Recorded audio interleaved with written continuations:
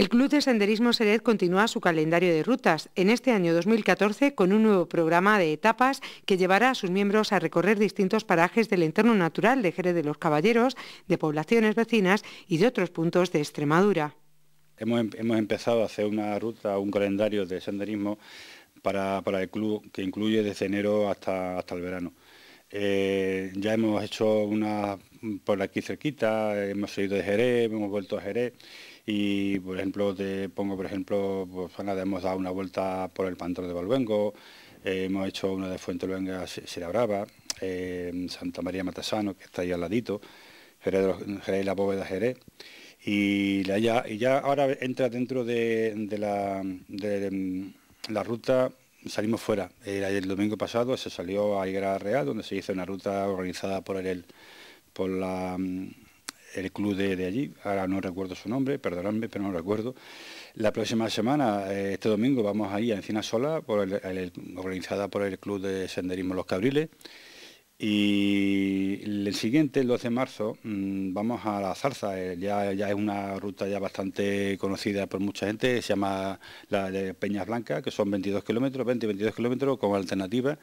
y que siempre nos gusta ir para, por encontrarnos siempre a,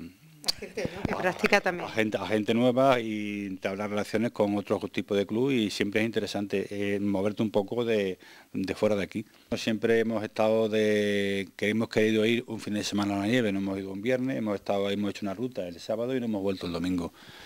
Eh, este año pues queremos hacerlo en entorno de la Mm, entre la Sierra de Béjar y, Gredos. Eh, son rutas pequeñas, y buscando un poco de nieve, no muchas, porque aquí no estamos acostumbrados a la, nieve y además se necesitaría un material que no lo tenemos. Pero sí algo, pisar algo de nieve y subir algún, algún pico, alguna colina, un pico que, no, que no sea excesivamente alto, donde admirar la belleza del paisaje, que os lo aseguro que eso es para mí eh, lo mejor que se puede hacer. Su ruta emblemática, la Ruta Templaria, que este año llega a su sexta edición, se celebrará el próximo 1 de mayo. Sí, eh, ya estamos, estamos intentando, vamos, primero lo fundamental es que esa ruta, si no se hace con el apoyo de del ayuntamiento y de algunas empresas que nos ayudan de algunos más, otros menos, su, apoyan su granito de arena, no la podíamos hacer. El año pasado nos apoyaron bastante y la verdad nos quedamos muy contentos y muy satisfechos con ellos. Esperemos de que en este año esas mismas empresas, que no voy a mencionar el nombre porque seguro que me quedo alguna en el tintero y no quisiera cometer ese error. Entonces, mm, pedirles el mismo apoyo a, todas estas empresas que, nos ayudaron para poder conseguir el dinero suficiente para traer a, Jerez a bueno, el año pasado fueron 400 personas, el anterior fueron casi 550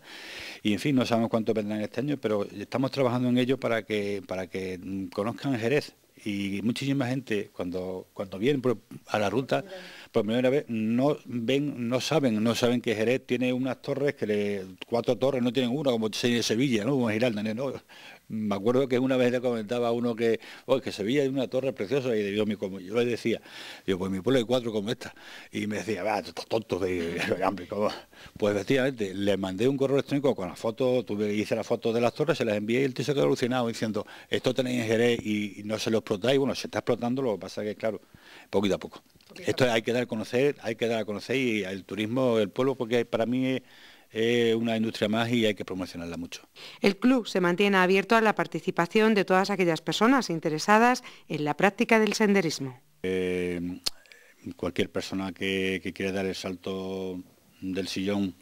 o de, dar la vuelta al pueblo y quiera venirse con nosotros, estamos completamente abiertos.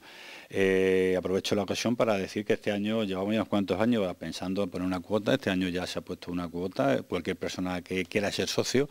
eh, simplemente hablar con nosotros, eh, son 20 euros al año, tiene su ventaja, que no implica que el hecho que no, que no quiera ser socio no pasa absolutamente nada, que no implica para que se pueda venir con nosotros a cualquier ruta, pero claro, al ser socio siempre va a tener unas ciertas ventajas con respecto a los no socios.